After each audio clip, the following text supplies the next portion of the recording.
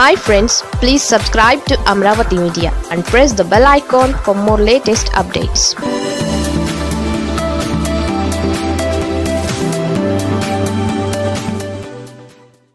shocking చిరంజీవిపై విషప్రయోగం జరిగిందా? తెలుగు సినీ పరిశ్రమలో చిరంజీవి మెగాస్టార్గా ఎదగడానికి ఎన్నో ఆటుపోట్లు ఎదుర్కొన్న విషయం అందరికీ తెలిసిందే. అయితే చిరు ఎదుగుదలను చూసి ఓర్వలేక గతంలో ఆయనపై హత్యాయత్నం జరిగిన విషయం నేడు చాలా మందికి తెలియదు. ఈ తరుణంలో మెగాస్టార్ చిరంజీవిపై గతంలో విషప్రయోగం జరిగింది తెలుసా అంటూ ఓ మెగా అభిమాని సోషల్ మీడియా వేదికగా చేసిన పోస్ట్ వైరల్ అయింది.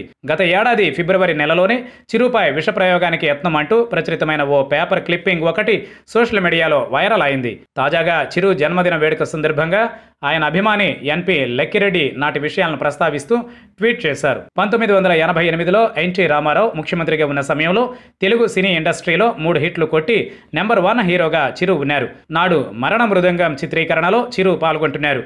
ఆ రోజు మద్రాస్ బేస్ కోర్టులో షూటింగ్ జరుగుతోంది. అక్కడికి పెద్ద సంఖ్యలో అభిమానులు వచ్చారు. అందులో ఒక అభిమాని ఈరోజు నా పుట్టినరోజు అంటూ ఎప్పటి నుండో మీ సమక్షంలో కేక్ కట్ చేయాలని అనుకుంటున్నాను అంటూ ముందుకొచ్చాడు. దానికి చిరు అంగీకరించడంతో ఒక కేక్ ముక్క కట్ చేసిన అభిమాని దానిని వెంటనే చిరుకి బలవంతంగా తినిపించబోయాడు.